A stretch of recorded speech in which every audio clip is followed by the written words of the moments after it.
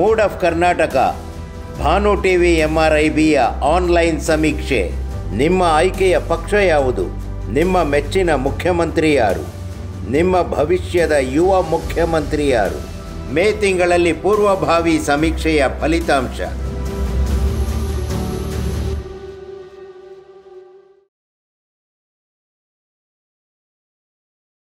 ಸ್ನೇಹಿತರೆ, ಜನತಂತ್ರದ ಪ್ರಧಾನ ಆಶಯ ಅಧಿಕಾರ ವಿಕೇಂದ್ರೀಕರಣ.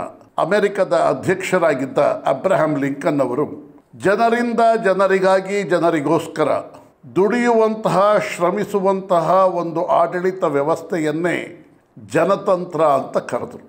ಸಾವಿರದ ಒಂಬೈನೂರ ನಲವತ್ತ ಏಳರಲ್ಲಿ ಭಾರತಕ್ಕೆ ಸ್ವತಂತ್ರ ಬಂದ ನಂತರ ಭಾರತವು ಇಂಥದೊಂದು ಜನತಾಂತ್ರಿಕ ವ್ಯವಸ್ಥೆಯನ್ನು ಒಪ್ಪಿಕೊಡ್ತು ನಮ್ಮ ಭಾರತದ ಜನತಾಂತ್ರಿಕ ವ್ಯವಸ್ಥೆ, ಅಬ್ರಹಾಂ ಲಿಂಕನ್ ಅವರು ಹೇಳಿದ ಹಾಗೆ ಜನರಿಂದ ಜನರಿಗಾಗಿ ಜನರಿಗೋಸ್ಕರ ಅನ್ನುವ ತತ್ವದಡಿ ತನ್ನ ಕಾರ್ಯಾಚರಣೆಯನ್ನು ಪ್ರಾರಂಭ ಮಾಡಿತು.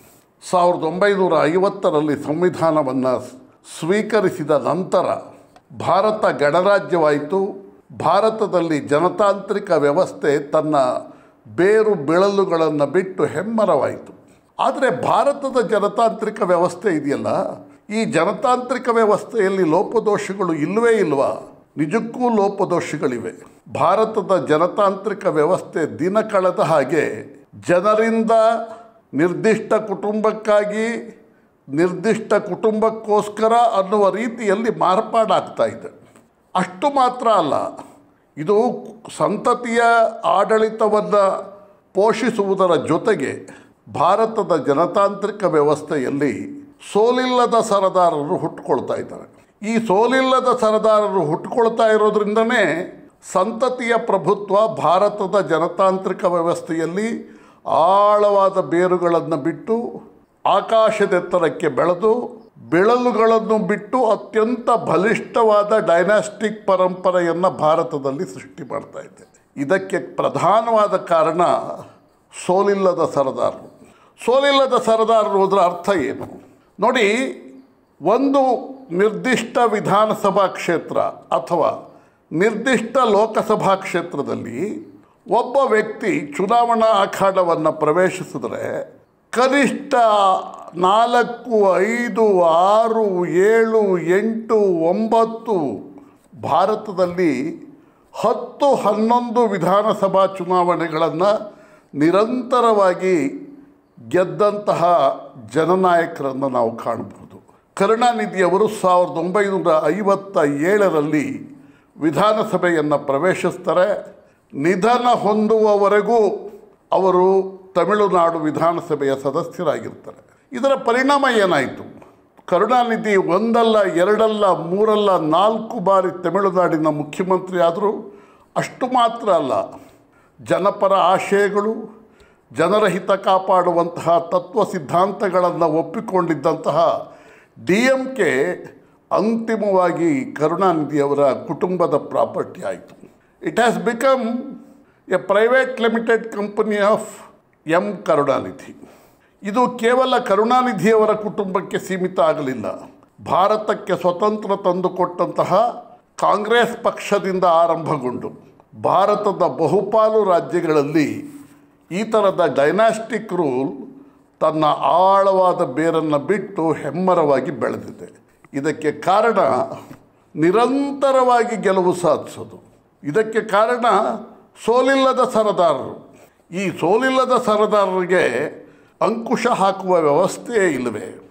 ನೋಡಿ, ಯಾವುದೇ ಒಬ್ಬ ವ್ಯಕ್ತಿ ಚುನಾವಣಾ ಅಖಾಡವನ್ನು ಪ್ರವೇಶಿಸಿದ್ರೆ ಅವನು ಎರಡು ಅವಧಿಗೆ ಮಾತ್ರ ಶಾಸಕ ಅಥವಾ ಲೋಕಸಭೆಗೆ ಸ್ಪರ್ಧಿಸಬೇಕು.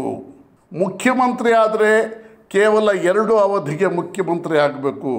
ಪ್ರಧಾನಿ ಆದರೆ ಕೇವಲ ಎರಡು ಅವಧಿಗೆ ಮಾತ್ರ ಪ್ರಧಾನಿ ಆಗಬೇಕು.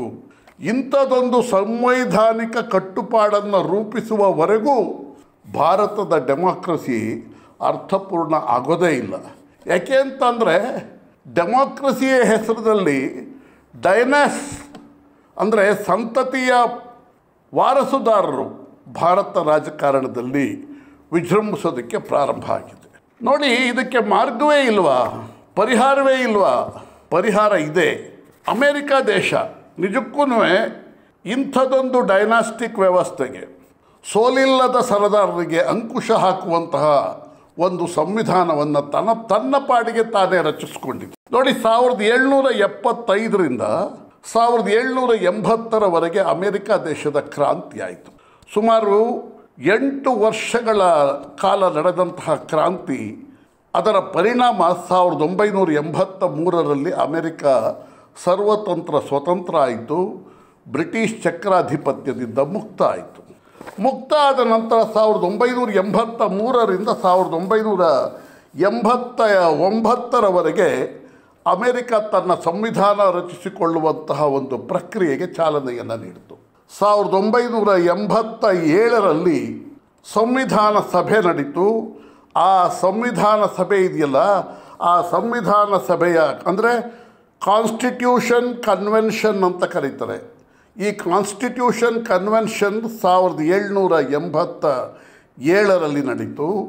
ಈ ಕನ್ವೆನ್ಷನ್ನ ಅಧ್ಯಕ್ಷತೆಯನ್ನು ವಹಿಸಿದ್ದವರು ಅಮೆರಿಕದ ಪಿತಾಮಹ ಅಂತ ಕರೀತಾರಲ್ಲ ಜಾರ್ಜ್ ವಾಷಿಂಗ್ಟನ್, ಅವರು ಈ ಸಂವಿಧಾನ ಸಭೆಯ ಅಧ್ಯಕ್ಷತೆಯನ್ನು ವಹಿಸಿದರು. ಸಾವಿರದ ಏಳ್ನೂರ ಎಂಬತ್ತ ಏಳರಲ್ಲಿ ಸಂವಿಧಾನವನ್ನು ಒಪ್ಪಿಕೊಂಡ ನಂತರ ಸಾವಿರದ ಏಳ್ನೂರ ಎಂಬತ್ತೊಂಬತ್ತರಿಂದ ಸಾವಿರದ ಏಳ್ನೂರ ತೊಂಬತ್ತ ಏಳರವರೆಗೆ ಜಾರ್ಜ್ ವಾಷಿಂಗ್ಟನ್ ಅವರು ಅಮೆರಿಕದ ಪ್ರಥಮ ಅಧ್ಯಕ್ಷರಾಗಿ ಅಧಿಕಾರದ ಚುಕ್ಕಾಣಿಯನ್ನು ಹಿಡಿದರು. ಅಂದರೆ ಸಾವಿರದ ಏಳ್ನೂರ ಎಂಬತ್ತ ಒಂಬತ್ತರಿಂದ ಸಾವಿರದ ಏಳ್ನೂರ ತೊಂಬತ್ತ್ಮೂರರವರೆಗೆ ಮೊದಲ ಅವಧಿ ತೊಂಬತ್ತ್ಮೂರರಿಂದ ಸಾವಿರದ ಏಳ್ನೂರ ತೊಂಬತ್ತ ಏಳರವರೆಗೆ ಎರಡನೇ ಅವಧಿ. ಮೂರನೇ ಅವಧಿ ಬಂದಾಗ ಜಾರ್ಜ್ ವಾಷಿಂಗ್ಟನ್ ನಿರಾಯಾಸವಾಗಿ ಚುನಾವಣೆಯಲ್ಲಿ ಗೆಲುವು ಸಾಧಿಸುವ ಸಾಧ್ಯತೆ ಇತ್ತು. ಆದರೆ ಜಾರ್ಜ್ ವಾಷಿಂಗ್ಟನ್ ಘೋಷಣೆಯನ್ನು ಮಾಡ್ತಾರೆ, ಯಾವುದೇ ಅಧ್ಯಕ್ಷ ಅಮೆರಿಕಾದಲ್ಲಿ ಎರಡು ಅವಧಿಗಿಂತ ಹೆಚ್ಚು ಕಾಲ ಅಧ್ಯಕ್ಷನಾಗಿರಬಾರದು. ಅಮೆರಿಕ ದೇಶದ ಪ್ರಥಮ ಅಧ್ಯಕ್ಷನಾಗಿ ನಾನು ಘೋಷಣೆಯನ್ನು ಮಾಡ್ತಾ ಇದ್ದೀನಿ. ಇದೊಂದು ಅಲಿಖಿತ ಘೋಷಣೆ. ಇದಕ್ಕೆ ಯಾವುದೇ ಸಂವಿಧಾನ ಇಲ್ಲ. ನಾನು ಇಲ್ಲಿ ತೆಗೆದುಕೊಂಡಿರೋದು ಒಂದು ಮಾರಲ್ ಸ್ಟ್ಯಾಂಡ್ ಈ ಮಾರಲ್ ಸ್ಟ್ಯಾಂಡಿನ ಪ್ರಕಾರ ನಾನು ಎರಡು ಅವಧಿಗೆ ಮಾತ್ರ ಅಮೆರಿಕದ ಅಧ್ಯಕ್ಷನಾಗಿ ಆಯ್ಕೆಗೊಂಡಿದ್ದೀನಿ. ಮೂರನೇ ಅವಧಿಗೆ ನಾನು ಚುನಾವಣೆಗೆ ಸ್ಪರ್ಧಿಸೋದಿಲ್ಲ. ಅಷ್ಟು ಮಾತ್ರ ಅಲ್ಲ, ಸಕ್ರಿಯ ರಾಜಕಾರಣದಿಂದಲೂ ನಾನು ನಿವೃತ್ತಿಯನ್ನು ಹೊಂದುತ್ತೇನೆ. ಇಂಥದೊಂದು ಸತ್ಸಂಪ್ರದಾಯವನ್ನು ಮುಂದಿನ ಪ್ರತಿಯೊಬ್ಬ ಅಧ್ಯಕ್ಷರು ಪಾಲಿಸ್ಕೊಂಡು ಹೋಗಬೇಕು ಅಂತ ಅನ್ನುವ ಮಾತನ್ನು ಹೇಳಿದ್ರು, ಅಭಿಮತವನ್ನು ವ್ಯಕ್ತಪಡಿಸಿದ್ರು.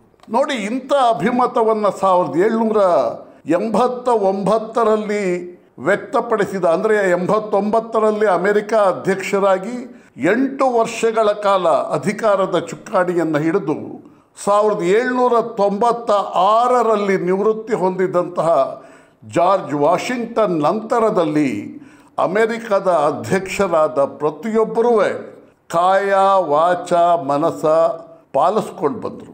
ಯಾರೂ ಎರಡು ಅವಧಿಗಿಂತ ಹೆಚ್ಚು ಚುನಾವಣಾ ಅಖಾಡವನ್ನು ಪ್ರವೇಶ ಮಾಡಲಿಲ್ಲ. ಸಾವಿರದ ಒಂಬೈನೂರ ಮೂವತ್ತ ಎರಡು ಫ್ರ್ಯಾಂಕ್ಲಿನ್ ರೂಸ್ವೆಲ್ಟ್ ಅವರು ಅಮೆರಿಕದ ಅಧ್ಯಕ್ಷರಾದರು. ಅವರು ಅಧ್ಯಕ್ಷರಾದ ಅವಧಿ ಒಳಗೆ ಇಡೀ ಜಗತ್ತು ಆರ್ಥಿಕ ಮುಗ್ಗಟ್ಟಿನಿಂದ ತತ್ತರಿಸಿತ್ತು. ಅಂತಹ ಸಂದರ್ಭದಲ್ಲಿ ಸಾವಿರದ ಒಂಬೈನೂರ ಮೂವತ್ತೆರಡು, ಸಾವಿರದ ಒಂಬೈನೂರ ಮೂವತ್ತಾರು ಅಂದರೆ ಎರಡು ಅವಧಿಗೆ ಫ್ರ್ಯಾಂಕ್ಲಿನ್ ರೂಸ್ವೆಲ್ಟ್ ಅವರು ಅಮೆರಿಕದ ಅಧ್ಯಕ್ಷರಾದರು. ತದನಂತರ ಸಾವಿರದ ಒಂಬೈನೂರ ನಲವತ್ತರಲ್ಲಿ ಮೂರನೇ ಅವಧಿಗೂ ಫ್ರಾಂಕ್ಲಿನ್ ರೂಸ್ವೆಲ್ಟ್ ಅವರು ಚುನಾವಣಾ ಅಖಾಡವನ್ನು ಪ್ರವೇಶ ಮಾಡ್ತಾರೆ. ಅದಕ್ಕೆ ಕಾರಣ ಎರಡನೇ ಮಹಾಯುದ್ಧ. ಆ ಎರಡನೆಯ ಮಹಾಯುದ್ಧದ ಸಂದರ್ಭದಲ್ಲಿ ಫ್ರಾಂಕ್ಲಿನ್ ರೂಸ್ವೆಲ್ಟ್ ಅವರು ಅನಿವಾರ್ಯವಾಗಿ ಮೂರನೇ ಅವಧಿಗೆ ಸಾವಿರದ ಒಂಬೈನೂರ ನಲವತ್ತರಲ್ಲಿ ಚುನಾವಣಾ ಅಖಾಡವನ್ನು ಪ್ರವೇಶ ಮಾಡ್ತಾರೆ.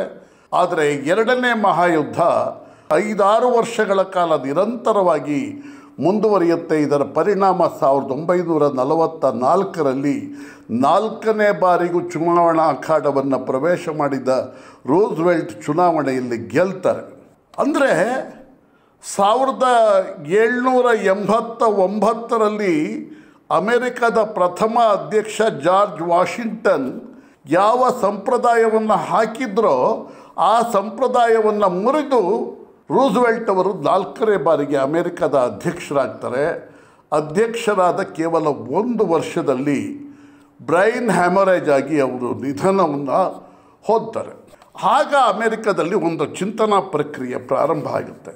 ಅಮೆರಿಕದ ಪ್ರಥಮ ಅಧ್ಯಕ್ಷ ಜಾರ್ಜ್ ವಾಷಿಂಗ್ಟನ್ ಅವರು ಯಾವುದೇ ಅಧ್ಯಕ್ಷ ಎರಡು ಅವಧಿಗಿಂತ ಅಮೆರಿಕದ ಅಧಿಕಾರ ಸೂತ್ರ ಹಿಡಿಬಾರ್ದು ಅನ್ನುವಂತಹ ಒಂದು ಸತ್ ಸಂಪ್ರದಾಯವನ್ನು ಹಾಕ್ಕೊಟ್ಟಿದ್ದರು ಇದೊಂದು ಅಲಿಖಿತವಾದಂತಹ ಸಂಪ್ರದಾಯ ಆಗಿತ್ತು. ಇದೊಂದು ಮಾರಲ್ ಸ್ಟ್ಯಾಂಡ್ ಆಗಿತ್ತು. ಅಂಥದ್ದೊಂದು ಸಂಪ್ರದಾಯವನ್ನು ಎಲ್ಲರೂ ಅಮೆರಿಕದ ಎಲ್ಲ ಅಧ್ಯಕ್ಷರು ನಿರಂತರವಾಗಿ ಪಾಲಿಸ್ಕೊಂಡು ಬಂದಿದ್ದರು ಫ್ರ್ಯಾಂಕ್ಲಿನ್ ರೂಸ್ವೆಲ್ಟ್ ಅವರ ಅವಧಿಯಲ್ಲಿ ಈ ಸತ್ ಸಂಪ್ರದಾಯ ಮುರಿತು.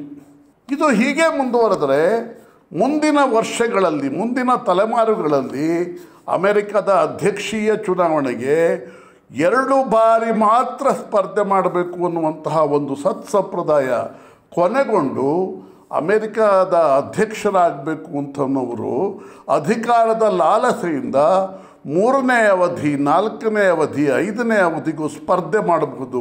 ಇದರಿಂದ ಜನತಂತ್ರ ಅನ್ನುವಂತಹ ಆಶಯ ಇದೆಯಲ್ಲ, ಜನತಂತ್ರದ ಆಶಯ ಸಂಪೂರ್ಣವಾಗಿ ನಾಶ ಆಗುತ್ತೆ.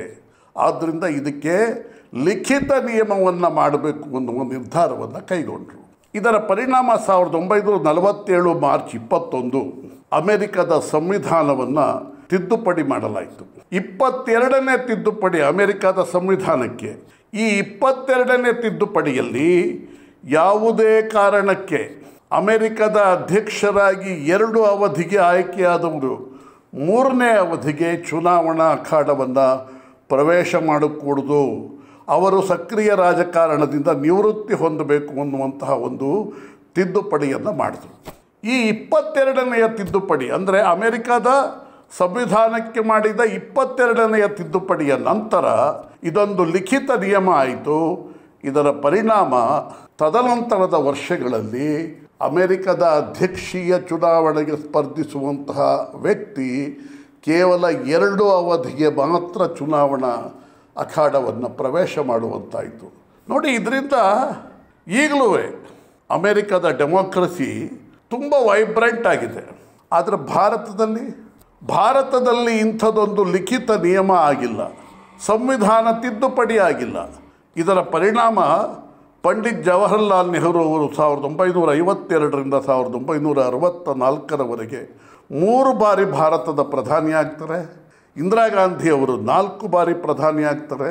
ಸದ್ಯ ನರೇಂದ್ರ ಮೋದಿಯವರು ಅವರು ಎರಡು ಬಾರಿ ಪ್ರಧಾನಿ ಆಗಿದ್ದಾರೆ. ಮೂರನೇ ಬಾರಿ ಪ್ರಧಾನಿ ಆಗೋದಕ್ಕೂ ಪ್ರಯತ್ನ ಪಡಬಹುದು.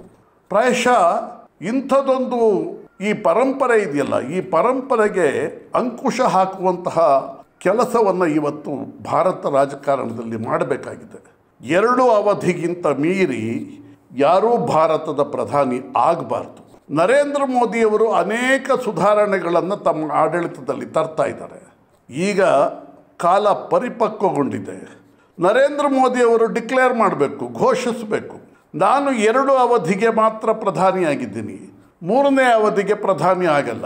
ಇದಕ್ಕೆ ಸಂಬಂಧಪಟ್ಟ ಹಾಗೆ ಸಂವಿಧಾನ ತಿದ್ದುಪಡಿ ಮಾಡೋದಕ್ಕೂ ನಾನು ಸಿದ್ಧನಾಗಿದ್ದೇನೆ ಅನ್ನುವ ಘೋಷಣೆಯನ್ನು ಮಾಡಬೇಕು. ಭಾರತ ರಾಜಕಾರಣದಲ್ಲಿ ಕೇವಲ ಪ್ರಧಾನಿ ಹುದ್ದೆ ಎರಡು ಅವಧಿಗೆ ಮಾತ್ರ ಸೀಮಿತ ಆಗದೆ ಶಾಸಕರು, ಲೋಕಸಭಾ ಸದಸ್ಯರು, ಸಚಿವರು, ಮಂತ್ರಿಗಳು, ಮುಖ್ಯಮಂತ್ರಿಗಳು, ಕೇಂದ್ರ ಸಚಿವರು ಪ್ರಧಾನಮಂತ್ರಿಗಳು ಹೀಗೆ ಯಾವುದೇ ಸಂವೈಧಾನಿಕ ಹುದ್ದೆಯನ್ನು ಎರಡು ಅವಧಿಗೆ ಮಾತ್ರ ನಿಗದಿಗೊಳಿಸುವಂತಹ ಒಂದು ತಿದ್ದುಪಡಿಯನ್ನು ತಂದರೆ ನಿಜಕ್ಕೂ ಭಾರತದ ಡೆಮೋಕ್ರಸಿ ಮತ್ತಷ್ಟು ವೈಬ್ರೆಂಟ್ ಆಗುತ್ತೆ.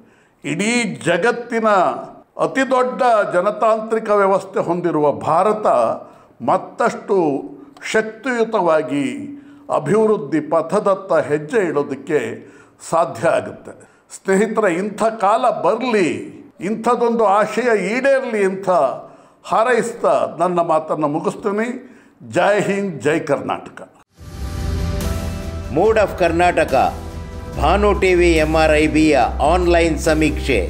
ನಿಮ್ಮ ಆಯ್ಕೆಯ ಪಕ್ಷ ಯಾವುದು? ನಿಮ್ಮ ಮೆಚ್ಚಿನ ಮುಖ್ಯಮಂತ್ರಿ ಯಾರು? ನಿಮ್ಮ ಭವಿಷ್ಯದ ಯುವ ಮುಖ್ಯಮಂತ್ರಿ ಯಾರು? ಮೇ ತಿಂಗಳಲ್ಲಿ ಪೂರ್ವಭಾವಿ ಸಮೀಕ್ಷೆಯ ಫಲಿತಾಂಶ.